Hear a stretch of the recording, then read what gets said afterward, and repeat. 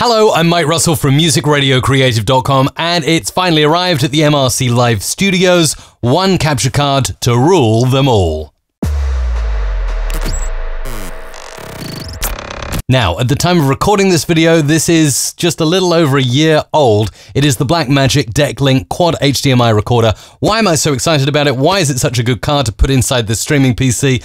Uh, because essentially, it replaces having all of these dongles and capture cards in. I can throw them to the side and use them for something else. I've got capture cards in there already, but this essentially is four capture cards in one, and it says right on the back of the box that it works with OBS, vMix, Wirecast, and more streaming software. So I'm going to plug it into the MRC Live streaming PC, and let's see if we can get four different HDMI sources working with our streaming PC. Okay, once you've got the card into the computer, bear in mind you'll need to connect a USB cable as well to provide power to it. Then you boot your computer up, install the updates, there are plenty of them to do, and then finally, you can get here to OBS Studio where you can have a look for the card. So as you'd set up a scene as standard, you just click the plus button here and you simply look for video capture device. And then when you click OK to this, you'll have all the video capture devices available on your computer.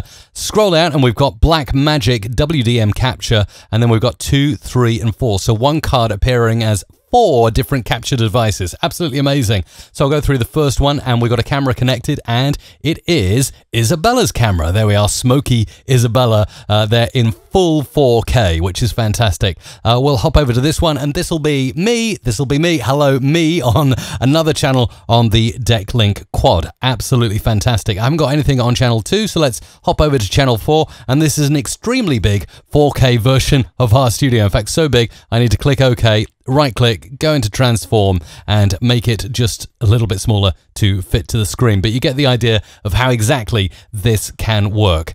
Absolutely fantastic stuff. The Blackmagic DeckLink Quad HDMI recorder. I love it. It just makes the workflow so easy. And if you want to future proof yourself, at the moment we stream in 1080p, but in the future now with this card, we have the ability to stream in 4K as well. It's fantastic. Let me know your thoughts and the capture card you're using to live stream in the comments down below.